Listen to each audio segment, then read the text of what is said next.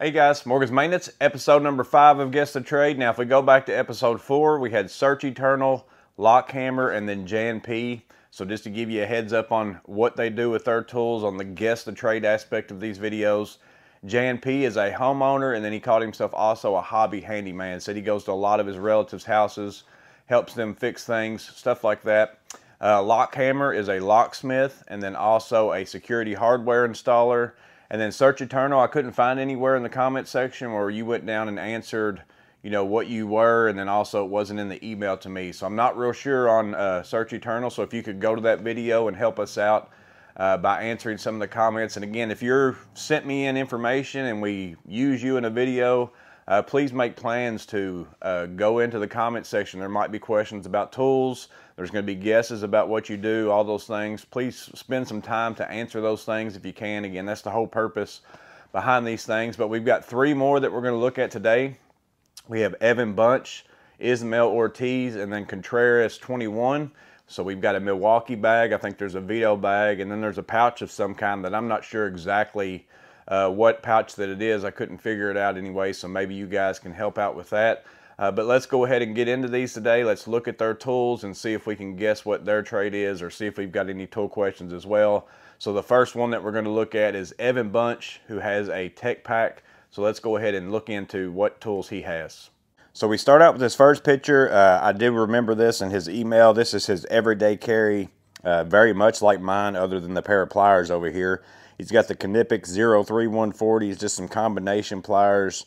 An Olight Baton 3 Pro. That's a pretty good light. That's a super nice light. And then the Milwaukee Fastback. That's the 1505 with the uh, screwdriver attachment. Again, that's the same thing I carry in my pocket each and every day as well. Next picture we go to is the outside of his bag. Again, he's got that tech pack he does have his tools blown out here in a little bit, so again, you might not see me spend as much time on these. I know many people love those tech packs. I don't, I don't, I know I would put too much in it, is why I've never bought one. I try to buy smaller bags if I can. Has the bolt claw on the side, a hammer, couple tape measure. Here's the business end of the bag. Again, lots of screwdrivers that are Klein, it looks like. Uh, lots of different, probably Knipex, along with some Klein. Um, pliers as well, stud buddy, some Wiha precision drivers. Again, we're not going to go in great detail looking at these. These anytime I stay on these pictures and I know there's a blowout, it's more so you can kind of see how they have their bags set up. So in case uh, you need to learn something about a bag. Also has a Joey Holstery uh, pouch up here as well, it looks like. Uh, back side of the bag, he's got an M12 uh, drill driver. It's a drill driver and then also looks like probably a meter of some kind up in there.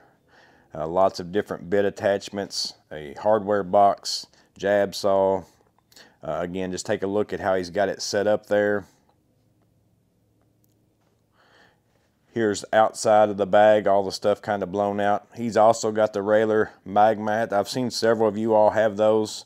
Uh, I really like mine. I don't know. You you guys can let me know in the comments below that have them how you like it. I really I really do like mine. I've not seen this little pouch before. Looks like it's basically good enough for a tape measure knife or two pencils and a pair one pair of pliers. Uh, so it's Ergodyne. It looks like has the Bolt Claw over here, Kobalt bag, Magnogrip. Uh, just several little things right there in that picture. And now here's the business part of the bag it looks like blown out. So let's go up here to the top and we'll start with some bits. Uh, looks like he's got some hex bits, some sockets, also some driver bits. He's got the small Klein quarter inch uh, bit holder. Uh, I really like that. that. That's so easy to use. Uh, the Klein 6 in 1 stubby. Uh, some, again, Wiha precision drivers, stud buddy, uh, the Milwaukee light, that's several of you guys have had those in your loadout. That light right there in particular, it's such a nice light for the price and easy to get because it's at Home Depot. Uh, Klein Demolition Phillips driver, Milwaukee Phillip or Demolition uh, slotted, two of the insulated Klein screwdrivers with the blades. Those are nice as well. A socket or nut driver, Klein screwdriver. I think that's the older style. I don't think that's the pass-through. And for whatever reason, the pass-through one that I have a video for like they've quit carrying that at Home Depot. And then like I've had several comments on that video of, hey, where can I even get this? And you cannot find that anywhere on the internet. So I don't know what's happened with that. I don't know if anybody's ever dug up and found the information, if there's something wrong with the screwdriver that they pulled it from the shelves and like totally discontinued it. You, but I have mine. I'm glad I got one because it's a pretty useful tool and I haven't had any issues with it. Uh, but anybody knows the answer, uh, comment down below if you've got one uh, or if you've been trying to get one and you can't find one. If anybody knows what happened to it, uh, let us know that in the comments below. I have no idea. You know, I've had several people ask me about it, and I don't. I have no clue whatsoever. Uh, but we continue on. He's got another Klein screwdriver there. And then we get into his plier section. Uh, there's some Knipex 0201 He's also got a big pair of cable cutters. Uh, that kind of leans you in a direction of guessing what he does. There's not really a big reason to have those except for a couple different things. Uh, the little Knipex uh, bolt cutters, those work extremely well uh, as far as for cutting screws and things like that. Some Klein strippers, uh, the Knipex uh, insulated needle nose pliers, some Klein crimpers. I don't know what brand this, that's Knipex, but I don't, I've not seen those. It looks like just a pair of like shears. And I've also not seen this Milwaukee tool right here. I assume it's Milwaukee. It's got the lightning bolt. I have no idea what that's for. If anybody knows what that is, comment down below. It might be something that I've that should be obvious to me, but I've never seen it before. And then he's got a pair of Knipex pliers wrench, pair of Cobras, the 10 inch, and then also some twin grips. And then he has a small torch and a lighter, along with electrical tape, some super glue, and a Joey pouch. And he also has the little uh, protectors for the pliers wrench, it looks like right there, as far as for non-marring if you're working on something like that. So there's all his business part of his tools. We go to the next picture. This was the back side of his bag. Uh, so he again has that M12 drill driver right there. All these bits up at the top, uh, along with that little Milwaukee case. That's a good case to put in your bag to hold bits. That's the one I used to use all the time uh, before I found the railer bit rails. He also has a flip socket. He has the holstery driver master up there. Small piece of wire also, there's his hardware boxes. That would probably give us a little bit of a key of what he does for his trade as well. It looks like he's got some uh, outlet cover screws, some number sixes, number eight, or 632, 832, uh, some self tappers. Over here is a big tail, probably on part of what he does for his trade. You can see some of the uh, knockout fittings and things like that inside of there. He has a Husky punch a small hammer, Milwaukee jab saw, a Klein handle that he can put any bit in. That's a good idea. I carry stuff like that all the time as well. Down here below, he's got a borescope, it looks like of some kind. He carries the T5 600 electrical tester, a Klein non-contact voltage tester, uh, receptacle tester, and then also a Craftsman, looks like possibly a small laser measure.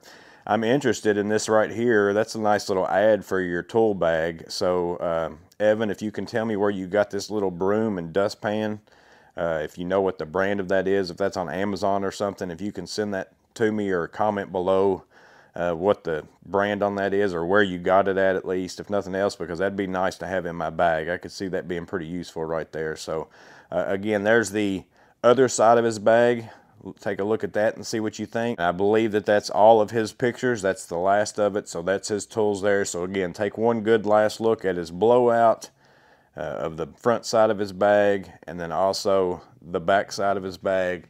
So that's Evan Bunch. Let us know in the comments below if you've got any questions on tools. Again, I'd like to know where you got the little dustpan and the little broom. Uh, I'd like to know that because I think that that would be pretty useful. But let us also know what you think he does with these tools in his line of work. Again, I saw several things in there that are going to guide me towards electrician. He's got the meter, he's got the cable cutters, he's got several pliers, crimpers, all those things, his hardware boxes. That would be my guess, but you never know. Sometimes we use tools that other people use for certain things for something specific within our work, but that would be my guess. But let us know in the comments below what you think.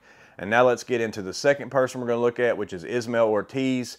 He's got a pouch that I'm not real sure what it is. Maybe we'll be able to figure that out, but let's go ahead and take a look at his tools. So again, you can see this pouch here, and he does have his uh, tools, I believe, blown out at the end. So again, you can look at this. I have no idea what this pouch is. Maybe it's a Husky pouch. He's got a lot of AWP side pouches and things, which I think typically you get at Lowe's. So it could also be some kind of a Kobalt pouch or something like that. Uh, a lot of things packed in here, so take a look at that.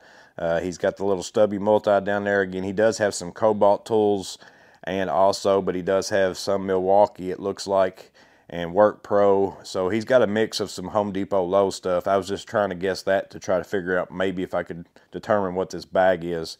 Uh, electrical tape, some Teflon tape down there, all sorts of things. Let's go to the next picture, which is just a little bit further back view. Uh, but kind of the same similar picture. He does have a ball handle screwdriver or something back here. I don't know if that's a vessel or that could be the Craftsman one, I think also has a black one like that. Next picture is the back side. So again, there's a couple AWP bags that he has right there. He's got the small DeWalt little nine foot tape measure with a magnet. That's a nice tape measure to have laying around. And it's a nice one to put in your bag just for quick measurements. Uh, and then a Ryobi bit set back here along with a Railer bit rail uh, clipped onto the back. And again, I, I just, I can't find a name. Ooh, there's something right there. Jonard. I don't know if that's a tag on the I don't think that that is. I think that's some other kind of a little clip, so I don't think that's a tag on the bag. Uh, next picture is all the ones blown out. So this is his tool loadout that's inside that pouch. Uh, so over here again we've got a ball handle screwdriver that looks like a vessel. Uh, I think it is. So uh, that's the black one, probably the one that uh, is the very first one that I bought. He has a adjustable wrench, a pair of scissors. Uh, I'm not real sure what that right there is. That's something that was on clipped onto the back of his bag. Uh, you might let us know what that is, or if anybody else knows, you can comment below. Uh, he's got a chisel, again a Railer bit rail with some bits on it. A uh, looks like probably some pair of some kind of a pliers that he's got a rubber end on it. I don't know what those are. He also has the Klein uh, multi nut driver, some Work Pro needle nose, some extended reach ones, a putty knife, uh, some couple pencils. Also looks like a precision screwdriver or a pick. It's either that or it's a bent screwdriver. I can't tell which one of the two. It's probably a pick because he's got a small screwdriver right there. Uh, flashlight, wire brush, pair of Cobras. Again, I'm seeing those almost. I think everybody's coming around to the Knipex Cobras and realizing how great that they are. Because I have, I don't even know. That, have we had a loadout yet that hasn't had Knipex Cobras in it. I'm trying to think if we have. I think every single one of them has. I mean, whether it's a homeowner, whether it's a professional tradesperson, whether it's a maintenance person, whether it's no matter what it is so far that we've covered. I, I want to say, I'm trying to think if Lockhammer had one. That might be the only one that I'm not sure, the last one with the locksmith and security access. But I think everybody that has a pair of adjust or, or tongue and groove pliers, it seems like more people are finally figuring out how good the Knipex are because they are phenomenal. Uh, but again, we get back into these. He's got the Milwaukee strippers, decent pair for the price, I think, in my opinion. Pair of Klein diagonals, those work great as well. A looks like a HVAC uh, Klein 8 and 1, 11 and 1 type thing because it's got the Schrader core up there on the top. He's got a receptacle tester. I am interested to know, uh, Ismael, what this hammer here is because that's pretty neat. And sometimes people just look for something small like that to put in their bag. You know, I use the Knipex uh, end cutting pliers, or I forgot what the actual name for them are, but they're the hammer end style of basically some nail pulling type pliers. I'll put a picture of them up here. Those are what I use for a small hammer in my bag if I'm not using my Wiha hammer uh, but because they work great as nail pullers, but they're also great for just a little hammer that you can use, and it's about the size of probably that hammer you have there. But I'm still interested to know because a lot of people ask that question to me all the time, what kind of hammer can I fit in my tool bag?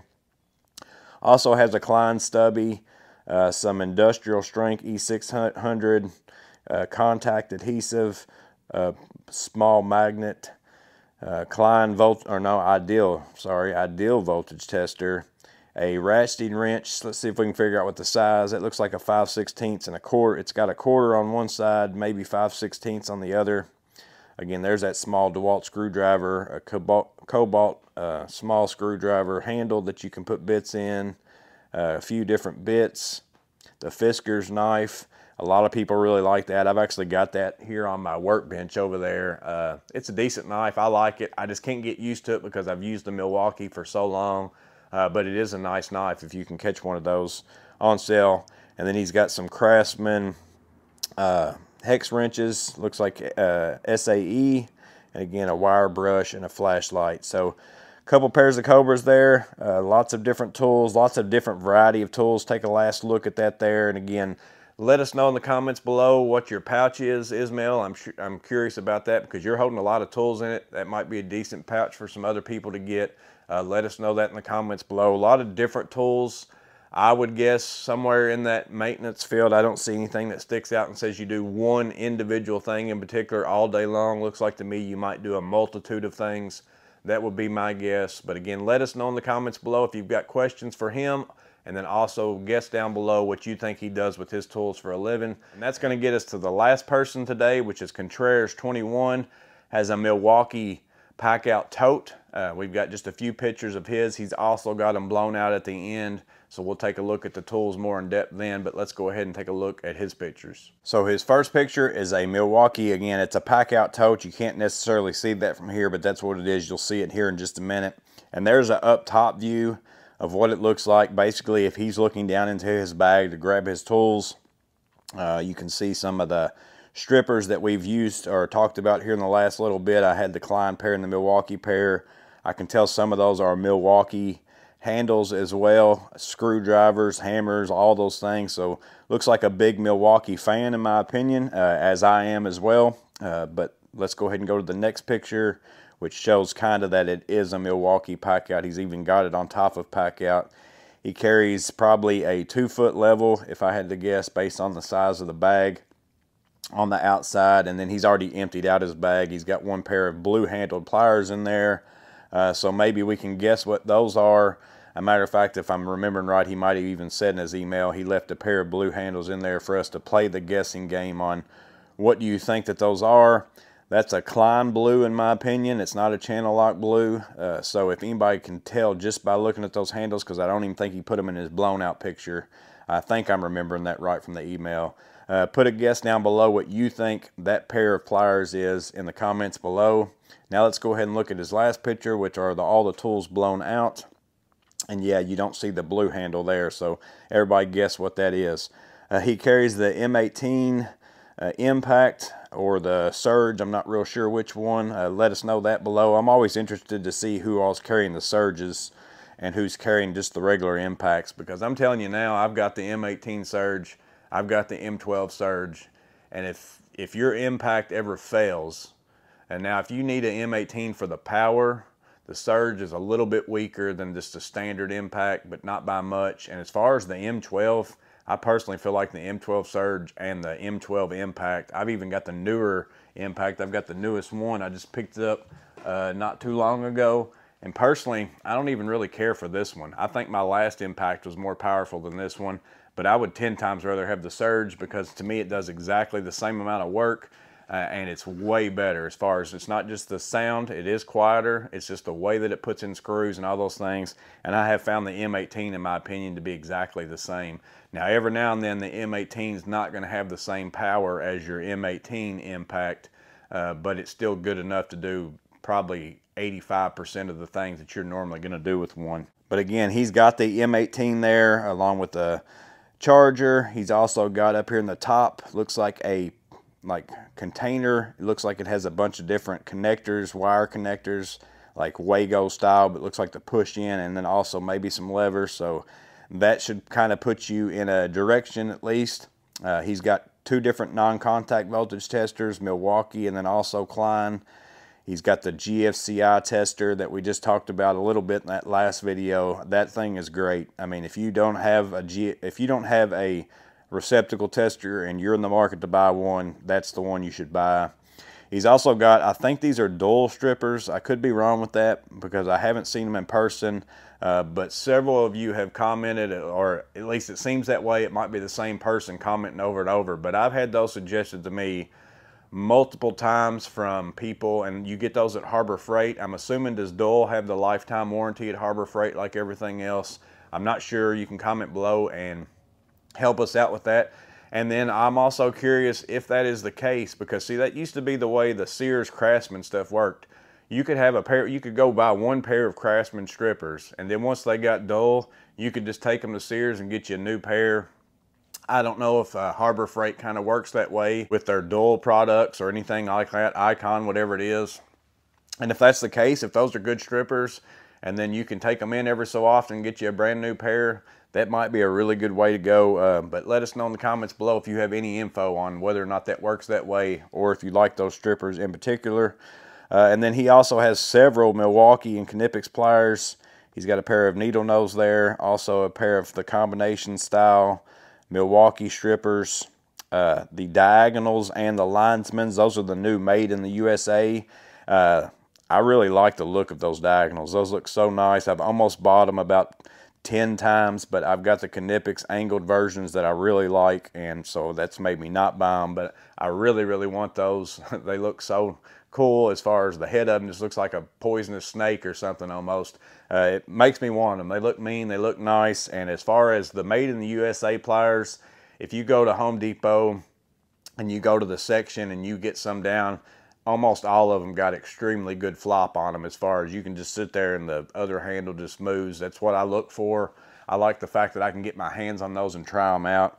Uh, so I haven't bought any yet. So if you've got some of the made in the USA pliers from Milwaukee, uh, let us know what your experience has been with those. I know they're quite a bit more expensive. That's why I haven't bought them because it's like if I can buy Knipex for the same price, those have been tested by me. I absolutely love them.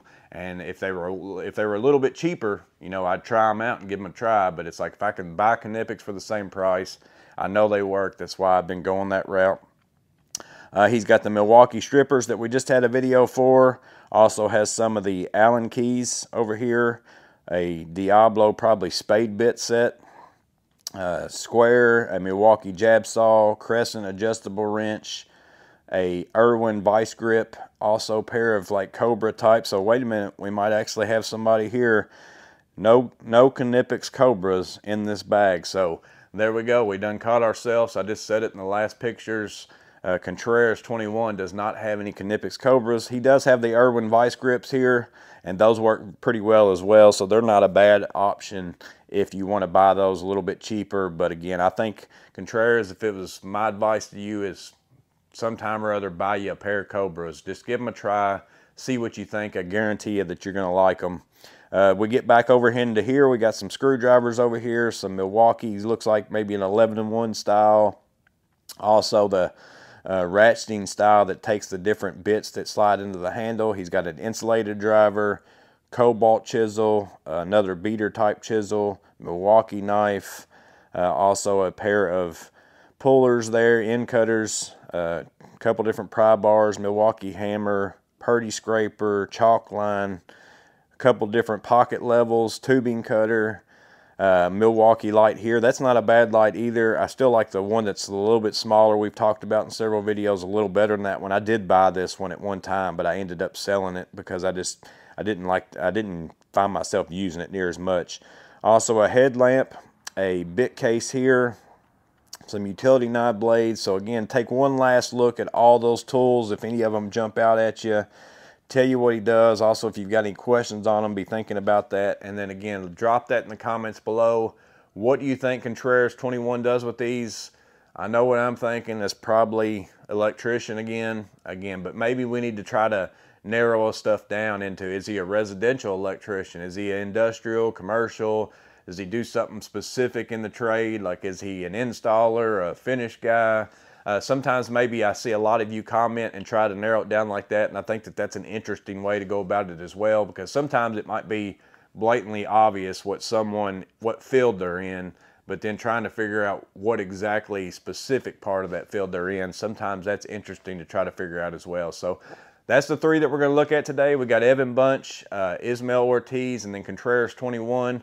Uh, thank you for sending in your photos. Make sure you try to, you know, be active in the comment section below of this video to help people out guessing what those tools are or guessing what the uh, what trade you're involved in, what line of work you're involved in. And then don't forget to try to guess what those blue handles were in Contreras' video as well. So that's episode number five. Uh, let us know in the comments below what you think about it, what your guesses are. As always, you guys stay safe, have a blessed day, and I'll see you on the next video.